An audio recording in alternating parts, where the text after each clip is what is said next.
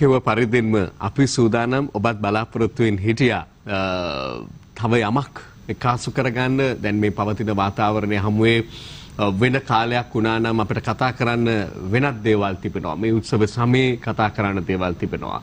ඊළඟට විශේෂයෙන් මැතිවරණයේ ප්‍රකාශයට පත් වීම නිසා බොහොම උණුසුම් කාලවකමානුවක් අපට ගෙවන්නට වෙන්නේ. එහෙමනම් මේ දේශපාලනයට සම්බන්ධ මෙතුමන්ලා කැඳවා ගැනීමෙන් අපි කතා කරන්නේ හුදෙක්ම දේශපාලික කාරණා. හැබැයි දැන් ඉන් එහාට යමින් රටම කතා කරන මේ කාරණාව පිළිබඳව සෑම දෙනාගේම අවධානය යොමු වෙද්දී ජනතා විමුක්ති පෙරමුණ පාර්ශවයෙන් මේ පිළිබඳව යොමු කොට තිබෙන අවධානය පිළිබඳව දකින ආකාරය ඒ පිළිබඳව ඔබට කියන්න තිබෙන පණිවිඩය කියන්න තමයි අපි අදත් ගෞරවයෙන් ආරාධනා කරේ. ආයුබෝවන් කියලා සුබෝදෑසනක් කියලා ඔබතුමන් ගෞරවයෙන් පිළිගන්නවා ජනතා විමුක්ති පෙරමුණේ හිටපු පාර්ලිමේන්තු මන්ත්‍රීතුමන් බිමාල් රත්නායක මැතිතුමන්ව අපි මම කල්පනා කරමින් හිටියා කොහෙන්ද ඔබත් එක්ක මේ කතාව පටන් ගන්න කියලා. එතකොට හමු වුණා පුවත් වාර්තාවක්ම අද මව්බිම පුවත්පතේ මුල් පිටුවේ නිෂ්පාදකතුමා පුළුවන් නම් අපිට පෙන්වන්නකෝ මේ ලාල්කාන්ත මහතා කියු කතාවක්. මේ තියෙන්නේ කොරෝනා මඩින ආණ්ඩුවේ වැඩපිළිවෙලට ජවිපේ උපරිම සහාය.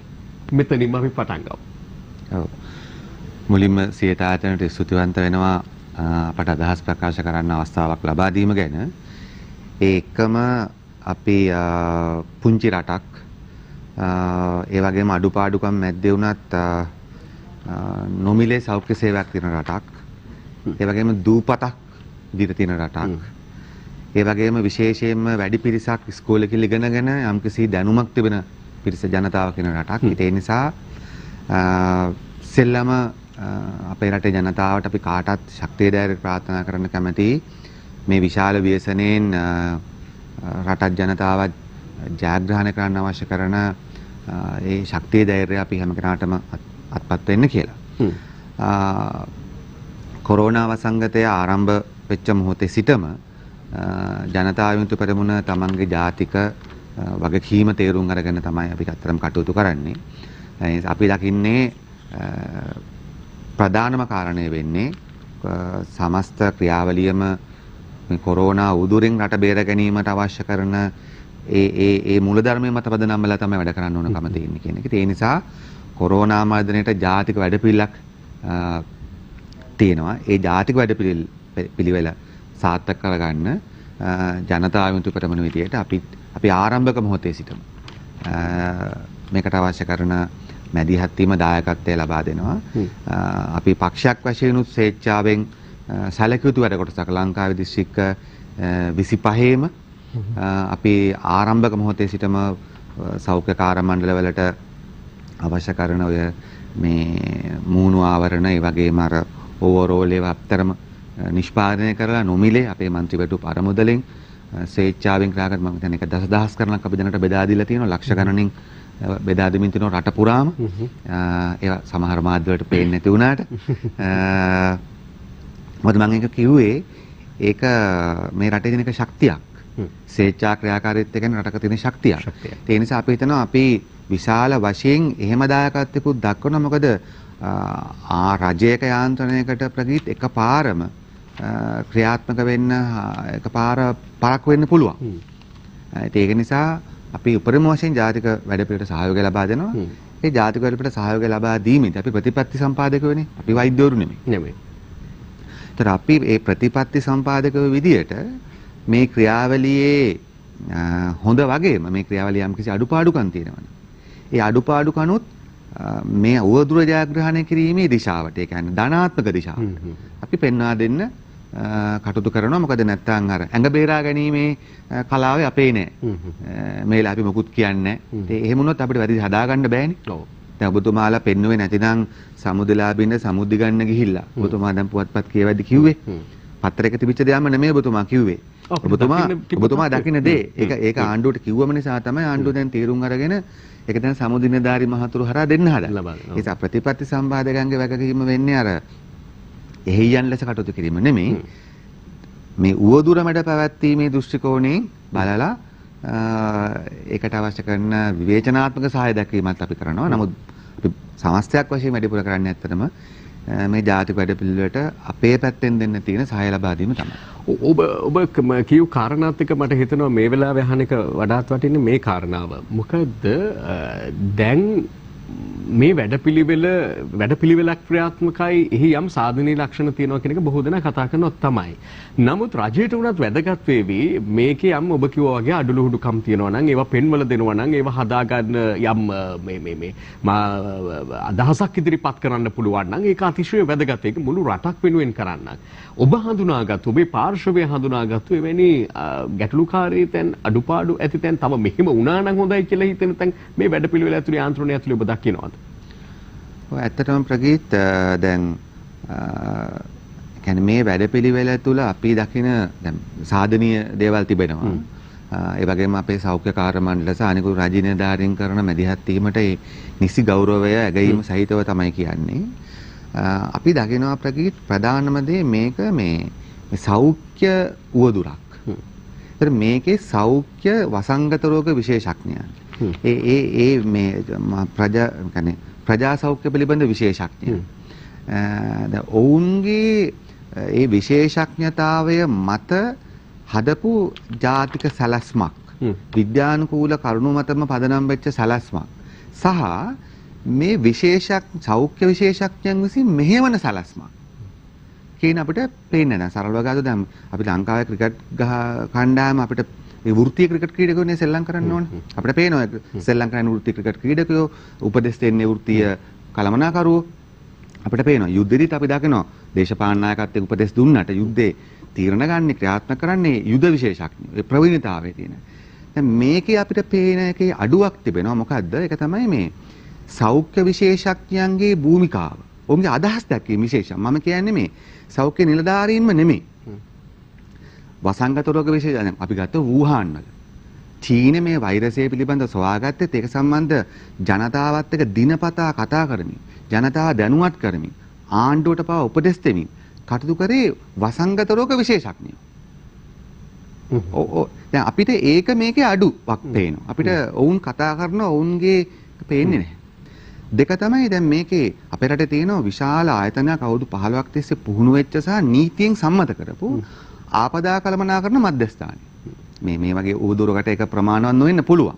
නමුත් ඒකට තියෙනවා අනිත් ඕනම ආයතනකට වඩා පුරුද්දක්. සුනාමි ඉඳලා විවිධ දේවල් කරලා. දැන් අපිට මේකේ පේන්නේ ඒ පුරුදු වෙච්ච ආපදා කළමනාකරන රාජ්‍ය ආයතනය ක්‍රියාත්මක වෙනවා කියලා.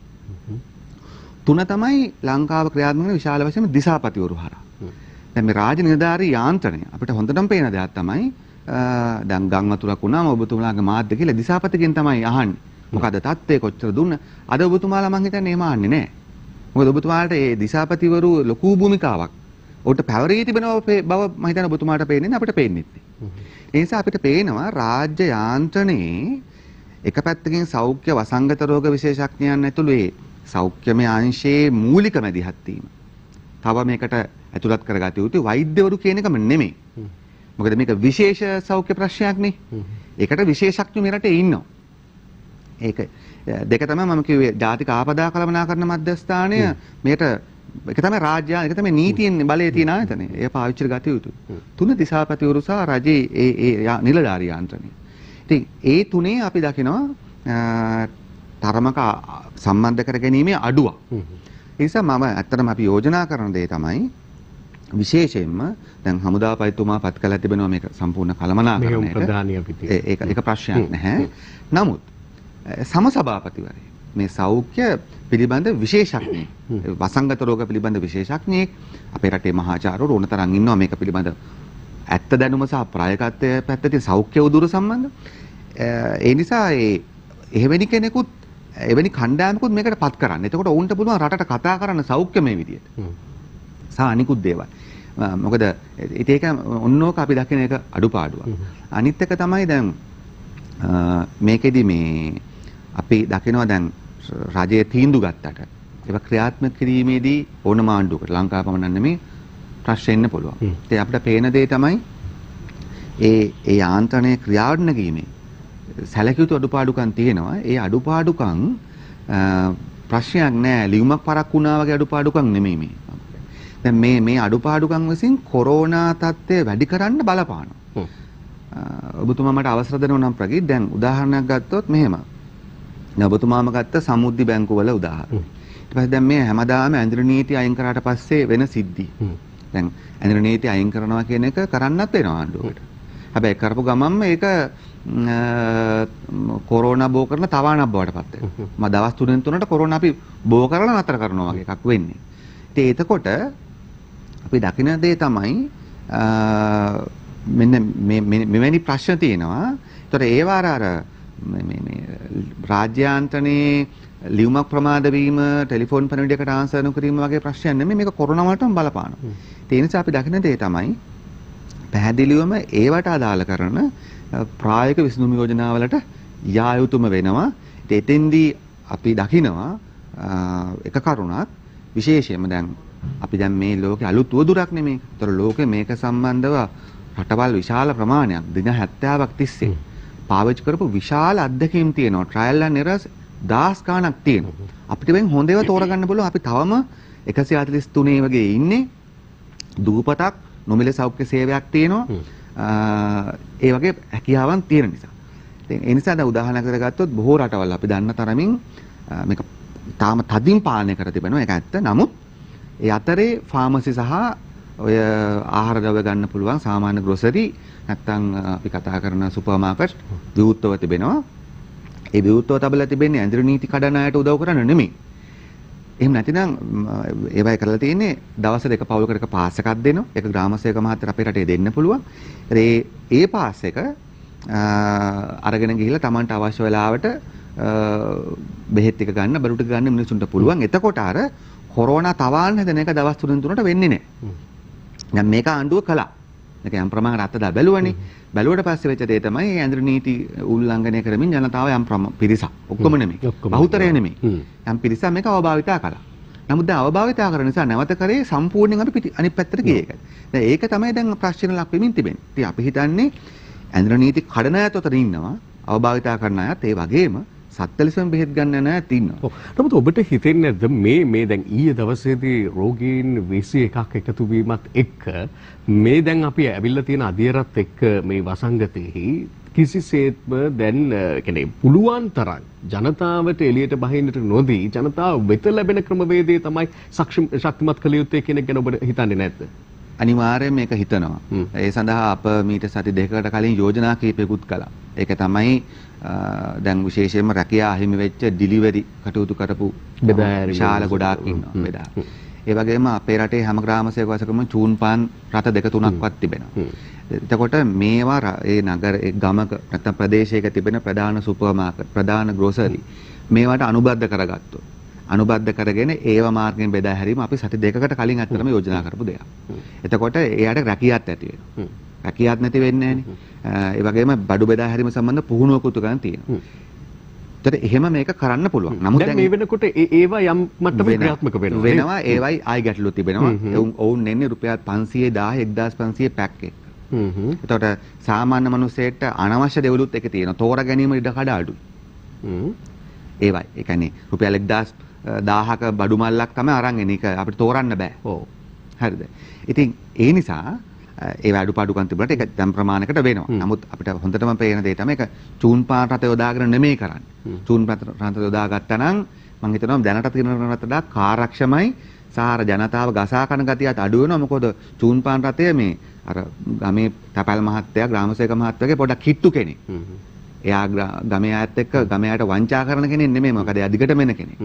අද බඩු කොල්ල හෙට එන්න කෙනෙක් නැති කෙනෙක් නමුත් ප්‍රගීත් ලෝකෙ පුරාම දැන් තියෙන එක ප්‍රශ්නයක් තමයි දැන් දිගටම මෙහෙම මේ සම්පූර්ණයෙන්ම මේ විදිහට වහගෙන හිටියට පස්සේ සමහර අවස්ථාවන් තියෙනවා ඒක විශ්ල කරගන්න බැරි වෙනවා. ඒකයි අපි දකින්නේ දැන් හමුදා පොලිසිය මේ කර්ෆියු එක හොඳට පාලනය කරනවා. ඒ එවැනි සීමාවක් ඇතුලේ විශේෂයෙන්ම අඩු ගානේ ఔෂධ වලට මේ ඉඩකඩ ලබා දීම වැදගත් වෙනවා. මම මේක කියන්නේ මේ අපහසුතාවය මග හරින්න කියන පැත්තෙන් නෙමෙයි. අපහසුතාව විඳගෙන ඉන්න වෙනවා. දැන් අපි දැන් ඇත්තටම ඉන්නවට මූදක අතරමං වෙච්ච බෝට්ටුවක දිවි ගලවා ගන්න ඉන්නවා වගේ. ආහාර පරිසම් කරගෙන දුෂ්කරතා දරාගෙන තමයි අපි ඉන්න ඕනේ. හැබැයි ඒ අතරේ මොකද මම මේක කියන්නේ මේකයි. දැන් මිනිසුන්ගේ විනය හදන්න බෑ ඒක හදන්න කීමෙන් විතරක්. ඒකට සිස්ටම්ස් තියෙන්න ඕනි. දැන් පැය 6කට නම් දොර ඇරෙන්න රට ඇරෙන්නේ එතකොට අත්‍යවශ්‍ය ඖෂධ වගේ දේවල්. මිනිස්සු නොගෙන ඉන්න යන්නේ නැහැ නේ ඒවා ගන්නම වෙනවා. ඉතින් ඒක නිසා මම මේකයි කිව්වේ දැන් ලෝකේ මේක පාවිච්චි කරපු අත්දැකීම් තියෙනවා මම කියන නිසා කරන්න අවශ්‍යතාවයක් නැහැ. හොඳට හොයලා බලලා ඒවා පාලනයකතු කරන්න පුළුවන්. මොකද මම කියන්නේ දැන් කොරෝනා බෝ කරන කට්ටිය හෝ බෝ කරගන්න කට්ටිය කියලා જાතියක් නැහැ. නොසලකිල්ලෙන් හැසිරෙන පිරිසක් ඉන්නවා. හැබැයි මම ඊටාම නිහතමානීව කියන්න කැමති. මම හොයලා බැලුවා මේක. අද ඔබේ නාලිකාවට එන්න ඕන නිසා දෙයක් හරි දෙයක් කියන්න ඕන නිසා හොයලා බැලුවා. අපි ජපානය, කොරියාව, චීනය වගේ. මේක දැන් පාලනය කරන් දිනවා කියන රටවල් තියෙනවනේ. ඒවයි පවා මිනිස්සු 100ට 100ක්ම විනයවත්ව කටයුතු කිරීම හරහමද මේ පාලනය කරගෙන තිබෙන්නේ කියලා. එහෙමම නෙමෙයි. මම කියන්නේ අපේ රටේ මේ ඇඳින නීති කඩන මේක වකීම් විදිහට ජනතාවට කිසිම සමාවක් ඇතුව නෙමෙයි මම කියන්නේ. ඒ ඔවුන්ගේ වැරද්ද වැරද්දම තමයි. නම මට පොඩි අවසානයක් ඔබ ඔබ මේ එන්නේ තව තව තැනකට මේ කතාව අරගෙන එන්නේ දැන් කොහොමත් ඔබ එනහන්න හිටපු කාරණාවක් තමයි අපි හැමතිස්සෙම අපි පුළු පුළුවන් හැම ආකාරයෙන්ම පරිස්සමෙන් කරනවා. ඔබත් කියනවා හමු වෙන හැම සාකච්ඡාවකදීම කියලා යන්නේ ওই ටික ජනතාවට. හැබැයි ඒකෙන්ම සෑහෙනවද කොච්චර පරිස්සම් වුණත් මේකෙන් ගොඩ යන්න පුළුවන්ද නවතින්න පුළුවන් තව දේවල් එකතු වෙන්න තියනවද කියන එක පිළිබඳව මම හිතන ඔබ ඔබට තියෙන දෙයක් කියන්න. අපි ඒක තබාගෙන විරාමයකට යමු ඊට පෙර ඔබ කියු කාරණා ඇතුලේ තිබෙන දේවල් දෙක තුනක් පිළිබඳව මම හිතන්නේ යම් පැහැදිලි කිරීමක් කරොත් හොඳයි කියලා. දැන් ඔබ කියු එක කාරණාවක් ගත්තොත් මේ ලොරි රථ වලින් මේ ආදී දේවල් වලින් ලැබෙනකොට පැකේජ් එකක් විදිහට මල්ලක් විදිහට ලැබෙන එක බොහෝ විට දැනටත් සිදු වෙනවා අපිට පේනවා. හැබැයි මම හිතන්නේ මම මේ පෞද්ගලිකව ගත්තු නිසා දන්න කාරණාව අවශ්‍ය විදිහට ගන්නත් අවස්ථාව තියෙනවා. තම තමන්ගේ තම තමන්ට මොනවද ඕනේ කියලා බලලා ගන්න පුළුවන් අවස්ථාවක් තියෙනවා. ඒක ක්‍රමානුකූලව තමයි මේවා සැකසෙමින් තියෙන්නේ කියන එක තමයි පේන කාරණාව. ඊළඟට ආරක්ෂාව පිළිබඳව ගත්තොත් එimhe ඔබ කිව්වා වගේ කොළඹ තමයි වැඩිම අවධානමකට ලක් වෙලා තියෙන්නේ මේ වෙනකොට. ඒ නිසා මේ විශේෂකාරී බලකාය මෙහෙයවීමෙන්ම දහස්යක් මාර්ග බාධක යොදමින් කොළඹට ඇතුළු වන පිටවන ස්ථානවල මාර්ග බාධක 16ක් යොදමින් මේ වෙනකොට කටයුතු කරමින් ඉන්න ආරක්ෂකාංශය තාමත්ම විධිමත්ව අපේ හැම විටම ආගේ කරන තත්ත්වයක් ඔබත් ඒ ආගේ කළ තත්ත්වයක්. අපි විරාමයක් ලබා ගමු විරාමයෙන් අනතුරුව හමු වෙමු අර පරිස්සම් වීමම සෑහේද නැත්නම් තව මොනවද අපි කළ යුත්තේ කියන එක දෙය පිළිබඳව කතා බහ කරන්න. අපි ප්‍රවිෂ්ටයක් අරගෙනයි විරාමයට ගියේ. මම හිතනවා මේ මේ මේ මෙහිදී පැන නැගුණු කාරණාත් එක්ක ඔබ මේ අමතර කාරණා කීපයක් ඔබ දැනුම්පත් කරා නම් ඒ ගැනත් හොඳයි කියලා. දැන් ඔය අපි ළඟට එන දේවල් වලින් එළවලු පළතුරු ටික ගන්න එක ගැන කතා කරන්නේ. මම මේ මේ මේ උපදෙසක් කියලාම හිතනවට වඩා බොහොම ආදරණීයව කරන ඉල්ලීමක් කියලා හිතුවත් කමක් නෑ ඔබට. පුළුවන් තරම් සෝදලා පිරිසිදු කරලා ගෙට ගන්න පුළුවන් නම් මේවා. දාගෙන එන මල්ල එළියට දාලා ඒක මේ මේ මේ පුච්චලා දාලා හරි Tamanගේ ගෙදර තියෙන භාජනයකට ඉක්මනටම දාගන්න පුළුවන් නම් මේ ගේන දේවල්. දැන් පාන් ගැනත් සමහර අය කියනවා සමහර වෙලාවට නිසි සෞඛ්‍ය ආරක්ෂණ ක්‍රම භාවිත කරමින් ඉන්නේ මේ අඩුම තරමේ අතාවරණයක් පළදලා බෑග් එකක් හරි අතට දාගෙන පාන් ගෙඩිය අල්ලන්න නැතුව දෙන්න පුළුවන් මේ වෙලාව අපි දන්නේ නැහැ අපි කාගේ ඇඟේ මේ වෛරස් එක කැරකෙනව ඇද්ද මේ වෛරසය තිබෙනව ඇද්ද කියන එක පිළිබඳව අපි කාටවත් අවබෝධයක් නැහැ. ඒ නිසා ප්‍රවේශම් වීම ඉතාමත්ම වැදගත්. ඔය ප්‍රවේශම් වීමම සෑහේද කියන එක ගැන තමයි අපි කතා කරන්න බලාපොරොත්තු වෙන්නේ. එතකොට ඔබ මොකද ඒකට කියන්නේ? ඔව් මම කියන්න හැදුවේ දැන් මේ කොරෝනා අපි පරද්ද ගන්න ඕනනේ. අපිට වෙන මුකුත් නෙමෙයි. අපි හිතනවා මේ වෙලාවේ අපේ ප්‍රධානම පෞද්ගලික සමාජ දේශපාලන රාජ්‍ය සමස්ත අරමුණම වෙනවනකම තියෙන්නේ මේ උදුර පාලනය කරලා මේක පරද්ද ගන්න. එතෙන්දී අපි පුද්ගල වගකීම කියන එක එක 100ට 100ක් තියෙනවා. يعني කිසිම කතාවක් නැහැ. නමුත් ඒක විතරක් ප්‍රමාණවත් නැහැ කියන එකයි මගේ අදහස. කියන්නේ ජනතාවට පරිස්සම් වෙන්න ඈතින් ඉන්න විනයවත් වෙන්න කියන එක නිතර කියන්න ඕන එක ප්‍රශ්නයක් නේ. නමුත් දැන් ඒකෙන් විතරක්මද අපිට මේක පාලනය කරන්න පුළුවන් වෙන්නේ කියලා. මොකද සමහරට මේක පහත්තනීයයි ගලා ජලය වගේ එකකුත් මට නම් පොඩ්ඩක් පෙනෙමින් තිබෙනවා. ඒ කියන්නේ දැන් දැන් උදාහරණ ඒ නිසා මම දකින දේ තමයි අපි රාජ්‍ය යාන්ත්‍රණය ඇතුළෙම දැන් මේ මිනිස්සු පරීක්ෂා කරන ප්‍රමාණය වැඩි කරගත්තේ නැතිනම් මිනිස්සු يعني සැකසහිත අයගේ පරීක්ෂණ ප්‍රමාණය වැඩි කරගත්තේ නැතිනම් අපිට දැන් වෙන්න පුළුවන් දෙයක් තමයි මේ අවංක මිනිස්සු උපරිම පරිස්සම් වෙලා ඉන්නේ. අවංකම කිසිම ආකාරයකින් කෙනෙක්ට මේක දෙන්න කොහෙත්ම කටයුතු විනය විරෝධීව කටයුතු නොකර තිබීරිත් මේක බෝ වෙන්න පුළුවන්. මොකද මම ජපානයේ කොරියාවේ වෙනත් රටවල් ඉන්න ශ්‍රී ලාංකිකයන් සමග සමහර ඒ රටවල් ඉන්න වාමාංශික දේශපාලන නායකයන් සමගත් කතා කරා මේක කොහොමද පාලනය කරගත්තු රටවල් තරමක් පාලනය කරගත්තු රටවල් පාලනය කරන් තින්නේ කියලා. ඒක සැලකිය යුතු වෛද්‍ය විද්‍යාත්මක මැදිහත් වීමකුත් මේකත් එක්ක ගිහිල්ලා තමයි ප්‍රගී මේ කරන් තින්නේ. ඒ නිසා අපි හිතනවා රජයේ පැත්තෙන් දැන් රජයේ රෝහල් කීපයක තමයි මම දන්නා තරමින් මේ ඔය විශේෂ පරීක්ෂණය කළ හැකිව තිබෙන්නේ. නමුත් සමහරට පෞද්ගලික අංශයේ රෝහල් වල රසායනාගාරවල මේව කළ හැකිව තිබෙන්න පුළුවන්. මම ඒක ගැන දන්නේ නැහැ. ඉතින් රජයට පුළුවන් ඇත්තටම මේ පෞද්ගලික අංශයේ රෝහල් නෙමෙයි රසායනාගාර. යම්කිසි ආකාරයකට රජයට සම්බන්ධ කරගෙන ඒවයි නොමිලේ ටිකක් මීට වඩා පරීක්ෂණ කටයුතු වැඩි කරොත් සැක තියෙන ඕන කෙනෙකුගේ දෙයක් වැඩි කළොත් පරීක්ෂණ කළොත් අපිට හඳුනා ගන්න පුළුවන්කම තියෙන්න පුළුවන් මොකද විෂ බීජ අපි අහලා තියෙන දින 3ක් කිසිම රෝග ලක්ෂණකින් තොරව තිබෙනවා. ඒත් අපි කොච්චර පරිස්සම් වුණත් අපෙන් ගෙදරට බෝ වෙන්න පුළුවන් සමහර. නැත්නම් ඇලිවනි ට්‍රයින් කරාට පස්සේ අපි දුරස්ථකරණය ඇතුලේ ආව වුණත් සමහර විට වෙන්න පුළුවන්. කියන කෙනාගෙන් මතු නොවි වෙන කෙනෙකුගෙන් මතු වෙන්නත් මතු වෙන්නත් පුළුවන්. ඒ නිසා ජනතාව 100%ක් පරිස්සම් වීම වැදගත් වගේම මීට වඩා මේ පරීක්ෂණ කටයුතු පුලල් කරන්න ඕන කියන එකත් මා සාකච්ඡා කර වෛද්‍ය මහාචාර්යවරුන්ගේ උගතුන්ගේ අදහසකුත් තිබෙනවා ලෝකේ මම කියන්නේ මේමයි අර 100ට 100ක විනයක් තියෙන රටක් ලෝකේ නෑනේ. එහෙම රටවල් නෑ.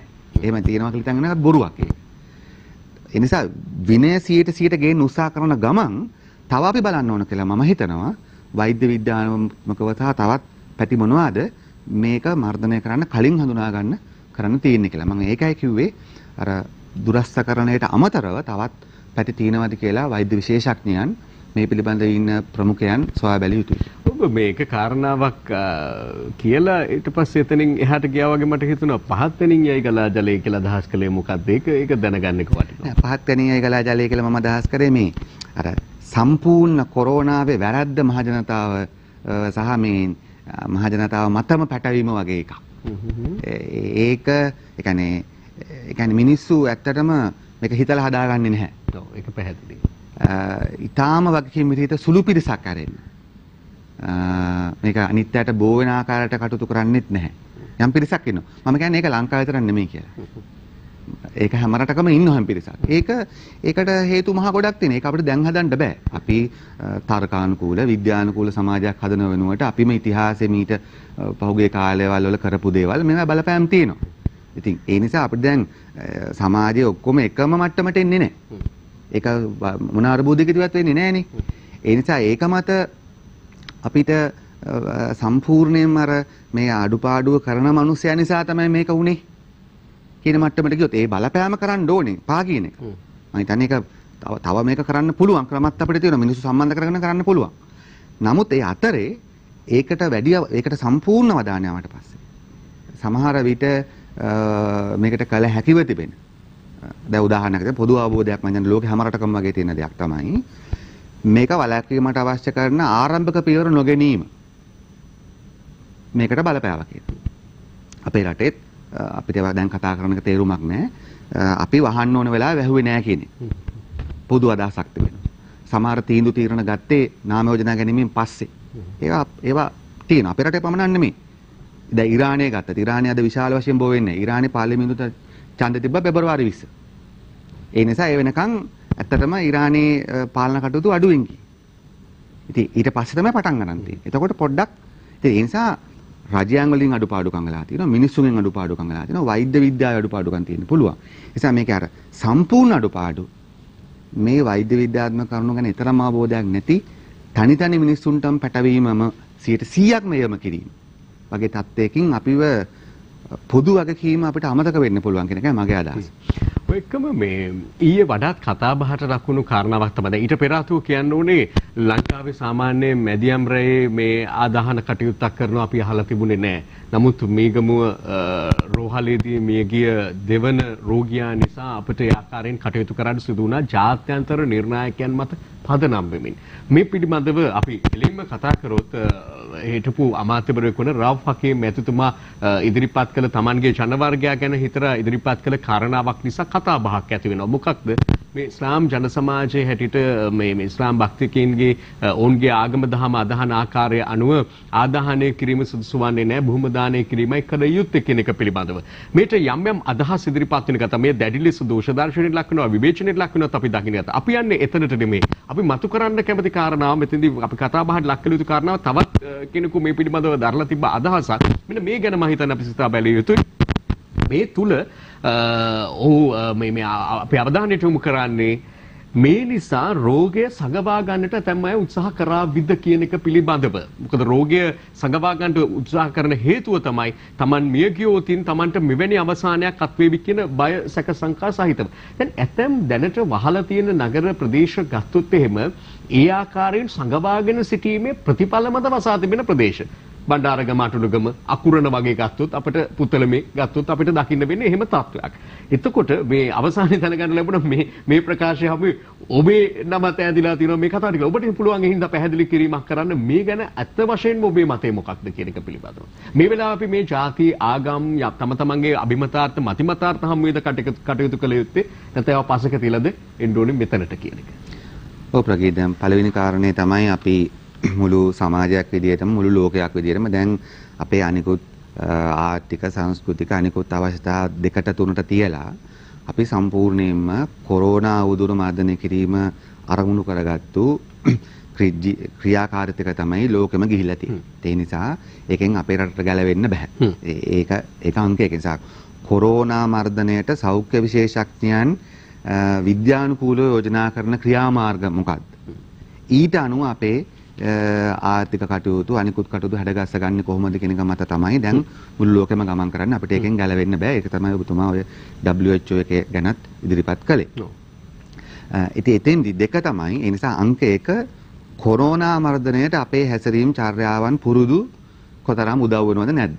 ඒක උදව් වෙනවා නම් ඒවා නතර කරගන්න ඕන. නැතිනම් ඒවා සීමිත ප්‍රමාණය පවත්වාගෙන යන්න පවත්වාගෙන යන්න පුළුවන්. දෙක තමයි දැන් ඒ නිසා මම දකින්නේ දැන් මිනිසුන්ගේ මම හිතන්නේ කිසිම ආණ්ඩුවකට මිනිසුන්ගේ රජයකට මිනිසුන්ගේ සංස්කෘතික අවශ්‍යතාවය. හිතාමතා යටපත් කිරීම විනෝදයක් කියන එක ඒක මෙහෙම වෙන්නේ නැහනේ. ඒ නිසා දැන් සෞඛ්‍ය විශේෂඥයන්ගේ පැත්තේ දෙන උපදෙස් මත මිනිසුන්ගේ සංස්කෘතික හරි ආර්ථික හරි කටයුතු ඒකට බාධා يعني කොරෝනාවට උදව් නොවන ආකාරයකට පවත ගන්න පුළුවන් සීමාව දක්වා. ඉඩ දෙන්න පුළුවන් සීමාව දක්වා ඉඩ දීම මම හිතනවා ඒක මිනිස්සු සාමාන්‍යයෙන් ජීවත් වෙච්ච විදියක් තියෙනවනේ. ඒ ජීවත් වෙච්ච විදියෙන් 100ට එකක් හරි රැක ගන්න පුළුවන් නම් ඒක ඒක රැක ගන්න දෙන එක හොඳයි මිනිස්සු. ඒක දෙක. තුන්වෙනි එක තමයි අපි දකින්නේ දැන් අපේ කොරෝනා මර්ධනය සම්බන්ධ කටයුතු වලට අපේ ඔය ආගමික සංස්කෘතික කටයුතු බාධාවක් වෙනවා. දැන් වැළලීම හෝ ආදාහනය කිරීම වගේ ඒවා. එතකොට ඇත්තටම අවසානයේදී සෞඛ්‍ය විශේෂඥයන්ගේ උපදෙස් මත තමයි ඒ සම්බන්ධ තීරණය ගත යුතු වෙන්නේ. ඉතින් ඒකෙදී ලෝකෙ පුරාම මේක එක රටක තියෙන ප්‍රශ්නයක් නෙමෙයි. ලෝකෙ පුරාම විවිධ සංස්කෘතීන් දැන් වලට අනුව මිනිස්සු ආදාහන කටයුතු කරනවා, බුබදාන කටයුතු කරනවා මිනිසුන්ගේ විශ්වාසයන්. ඉතින් ඒ විශ්වාසයන් කොරෝනා මාධ්‍යයට බාධා නොවන තරමට ඔවුන්ට පුද්ගලිකව ආරක්ෂා කරගන්න දෙන්න පුළුවන් නම් ඒක දුන්නට කමක් නැහැ. හැබැයි වගේම ඒක කොරෝනා මාධ්‍යයට බාධාවක් වෙනවා නම් ඒක අනිවාර්යයෙන්ම සෞඛ්‍ය විද්‍යාත්මක හැම බලන අතර කරන්න ඕනේ. මොකද ලෝකේ පුරාම දැන් කතෝලික ආගම ඉස්ලාම් ආගම යුදෙව් ආගම මේ ආගම් තුනම අවුරුදු 3-4000ක් තිස්සේ කියන්නේ යුදෙව් ආගම අවුරුදු 4000ක් පරණයි. මේවා සියල්ලම ආදාහනය කරන්නේ නැහැ භූම දානය කරන්නේ. නමුත් වසංගත තත්ත්වයන් නිසාම යුරෝපයේ ඇති වෙච්ච. ඇත්තටම පසු කාලීනව මේ මේ භූම දාන කටයුතු වෙනුවට ආදාහන කටයුතු වලට යුරෝපේ එනවා 1700 ගණන් 800 ගණන් වෙනකොට. 1963 වතිකානුවේ දෙවනි පාප් කොන්ෆරන්ස් එකෙන් තමයි තීන්දුව කරන්නේ ආදාහනය කිරීම කතෝලික ආගමට අනුව ඒක ප්‍රශ්නයක් නෙමෙයි. ඒ නිසා ආගම් මේ තාම ප්‍රධාන ආගම් විශේෂ තත්ත්වයන් ඇතුළේ ඒවා වෙනස් කරගෙනත් තිබෙනවා. ඒ නිසා අපි හිතන්නේ මේකේ ಜಾති ආගම ඇද ගන්න නෙමෙයි කොරෝනා මර්ධනය කිරීමට අපේ සංස්කෘතික පැවතුම් පැවතුම් කොතරම් බලපානවා. කියන එක මත තමයි මේක තීන්දුව කරන්න ඕනේ. එහෙම නැතුව මේක අර අර පොල්ලෙන් ගහුවා වගේ මේක හා හෝ බෑ හෝ කියන එකත් මම හිතනවා ඒක තේරුමක් නැති දෙයක්. ඒකත් මිනිස්සු තුල අර ඔබතුමා කිව්වා වගේ බිය ඇති කරන්න තව සැඟ වෙන්න වෙන්න පුළුවන් එහෙම දේවල්. මොකද මේක මහජන සෞඛ්‍ය ප්‍රශ්නයක්නේ. මේක බය කල්ලා තිසනන්න බෑ. මිනිස්සු අපි අපිට කොච්චර තරහ ගියන් මේක බය කල්ලා තිසනන්න බෑ. මොකද අපි කවුරුත් බයනේ මේක හැදෙනවට. හැදෙනවට බයයි. ඒ නිසා බය කල්ලා තිසනන්න බෑ. මිනිසුන්ට විශ්වාසයක් තියෙන්න ඕන මිනිසු නිරෝධායනට ඉදිරිපත් වෙන්න සෞඛ්‍ය අංශවලට එන්න එතකොට ඒගොල්ලන්ට හරියාකාරව බෙහෙත් ලැබුණම බේරෙන්න පුළුවන් කියන විශ්වාසයත් මේක ඇතුළේ ගොඩනගෙන්න ඕන. ඒක ಜಾති ආගම් කුල ભેදයෙන් තොරව ඒක ඒ ඒ සහතිකේ මිනිසුන් ලැබුණ ලැබෙනකොට මිනිස්සු මම හිතන්නේ විරුද්ධව ඉදිරිපත් වෙනවා. ඔව් ඒ ඒ තුල මට හැඟෙනවා මෙහෙම දෙයක් වුණා නම් හොඳයි නේද කියන එක අපි මොන ආගම දහම ඇදහුවත් ප්‍රායෝගිකව ජීවත් වීම සහ ඒ හැකියාව ප්‍රායෝගික කර ගැනීම පිළිබඳව අපේ අවබෝධය කිරීම මොකද පවතින අවශ්‍යතාවන් අනුව කටයුතු කිරීමට කවුරුත් බැදී සිටින නිසා මම ඒකත් කිව්වේ තත්පරයක් දෙකක් එකතු කරොත් මම ඒකයි කිව්වේ සමහර ආගම් මේ මේ සංස්කෘතිකාංග ඒ වසංගත රෝග තත්ත්වයන් නිසාම විශේෂම යුරෝපයේදී වෙනස් කරන් තිබෙනවා. ඒවා බැරි දේවල් නෙමෙයි මම හිතනවා ඉස්ලාම් දහමෙත් යුදෙව් දහමෙත් ඒවට අදාළ බෞද්ධ දහමෙත් ඕනම අභියෝගාත්මක අවස්ථාවලට මුහුණ දීම සඳහා මඟ පෙන්වීම ඇති තරම් ඇති කියලා. කාලේ නම් අවසන් ඉතාම කෙටියෙන් පිළිතුරක් ලබා දෙන්න නම් මේ කාරණාවට ආරම්භයේදී මුතුවා සම්පූර්ණ විමුක්තිය කරන විදිහට පුළුවන් තරම් දහස් ගණනින් මුකාවරණ ලබා දෙන්න ආදි වැඩ පිළිවෙල ක්‍රියාත්මක කරන්නේ. ජනතා විමුක්ති පෙරමුණ කියන්නේ මේ රටේ මුල් බැහැගත් දේශපාලන පක්ෂයක් කණ්ඩායමක්. එතකොට ඔබට තියෙන හයිය එච්චරද කියලා ජනතාවට සැකයක් එන්න පුළුවන් ප්‍රශ්නයක් එන්න පුළුවන්. මීට වඩා දෙයක් කරන්න බැරිද ජයවර්ධන? දැන් සමාජ ආරක්ෂණ අරමුදලට මේනකොට මිලියන 140ක මුදලක් එකතු වෙලා තියෙනවා. මම දන්නේ ඔබතුමාලා ඒ ගොඩේ ඉන්නවද යම් දායකත්වයක් දීලා තියෙනවද කියලා. ජවිපෙට හොඳ ස්වේච්ඡා හයියකුත් තියෙනවා. ජවිපෙට බීට වඩා දෙයක් කරන්න බැරිද කියලා මම බොහොම කෙටියෙන් අහන්න මම හිතන්නේ අපි උපරිම වශයෙන් දේශපාලන පක්ෂයක් විදිහට ගත්තොත් අපි අපේ മന്ത്രി වැටු පරමුදල් ඔය ආරමුදලට ලබා නොදුන්නට අපි සම්පූර්ණයෙන්ම අපි පාවිච්චි කරමින් ඉන්නවා. මම හිතන්නේ රෝහල් 100 ගණනකට අපි දහස් ගණනක් නෙමෙයි රෝහල් 100 ගණනකට අපි මුඛාවරණ එක ලක්ෂ ගණනක් දීලා ඇති. ඒ වගේම අපි අපි තමයි පටන් ගත්තේ මේ ඇත්තටම ඕවරෝල් එක නිර්මාණය කරන්න. දැන් දහස් ගණන් අපි ලබා දීලා තිබෙනවා. ඒ වගේම නිරෝධායන MOH ඔෆිස් වලට ලබා දීලා තිබෙනවා. ඊළඟට අපි විෂ බීජ හරණය කරමින් තිබුණු නගර රාශියක් අමුත්තේගම බදුල්ල දිස්ත්‍රික්කයේ විශාල තැන් ප්‍රමාණයක් ඊයේ කිරුළපණි. ඒ වගේම අපි සමහර රෝහල් වලට අවශ්‍ය කරන අර වෛද්‍යවරුන්ට සේවක සේවකට අවශ්‍ය කරන නිරෝධායනයට අවශ්‍ය දේවල්. පොලිසිය මහතුරු ලයිසන් එක චෙක් කරනවා. ග්ලව්ස් එකක්වත් අතේ නැහැ උන්ට හෑන්ඩ් සැනිටයිසර්ස් දීලා නැහැ ඒ නිසා අපි ඔවුන්ට ඒවා ලබා දීලා තිබෙනවා. ජනතාවට දුප්පත්ම ජනතාවට අපේ മന്ത്രിවරු පරමුදල් වලින් ආහාර ලබා දීම ආරම්භ කළා තිබෙනවා. මම හිතනවා අපි උපරිම වශයෙන් සෞඛ්‍ය ආරක්ෂිතව උපරිම වශයෙන් අපි ක්‍රියාත්මක වෙලා වෙනවා. මම හිතනවා සල්ලි දෙන්න මිනිස්සු ඇති. නමුත් භූමියේ නිස්සරණාද්යාශයේ අවංක හොරකම් කරන්නේ නැතුව ගසා කන්නේ නැතුව භූමියට ගිහිලා වැඩ කරන්න සේච්ඡා පිරිස අඩු. එහෙම අපිට ඉන්න අපි සුනාමියේ තරම් භූමිකාවක් කරමින් ඉන්නවා. ඒක කැමරාවට අහු නොවීම ඒක කොහොමද කවුරු කරන දේත් මේ වෙලාවේ මම දකින්නේ එය වෙනස් විදිහෙන් තමයි අපිටත් හසු කරගන්න වෙන්නේ මේ පවතින වාතාවරණය වෙනස් එකක් නිසා. බොහොම ස්තුතියි ඔබතුමාට මේ අදහස් දැක්වීමට විශේෂයෙන් මෙවැනි වාතාවරණයක පැමිණෙන සෑම දෙනෙකුට අපි විශේෂ ගෞරවයක් පිරිනමන්නට ඕනේ අවදානම් නොතකා මේ විදිහට මාධ්‍ය හමුවේ ඔබ දැනුවත් කරන්න පැමිණීම පිළිබඳව ජනතා විමුක්ති පෙරමුණේ හිටපු පාර්ලිමේන්තු මන්ත්‍රී බිමල් රත්නායක මැතිතුමාට ආයුබෝවන් කියලා මම සමුදයට බලාපොරොත්තු වෙනවා. ඒ වගේම මේ මේ සමුගන්නට සූදානම් වෙනකොටත් ආවේ COVID-19 කියලා මැසේජ් එකක් ෆෝන් එකට.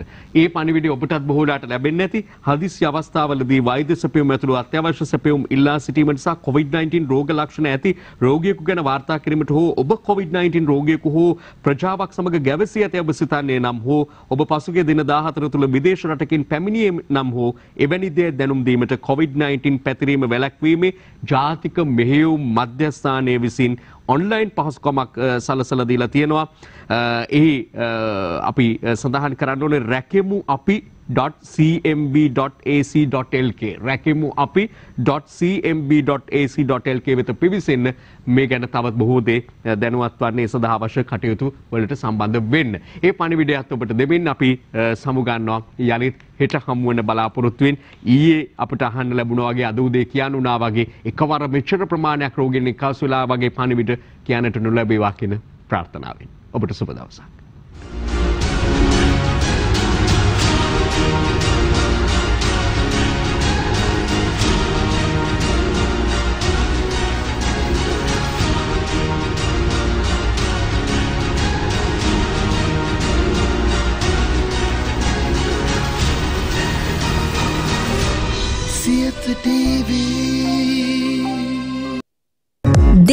අලුත් වීඩියෝ සහ ප්‍රවෘත්ති නැරඹීමට ඉහත බටන එක කලික් කර සියත TV සබස්ක්‍රයිබ් කරන්න.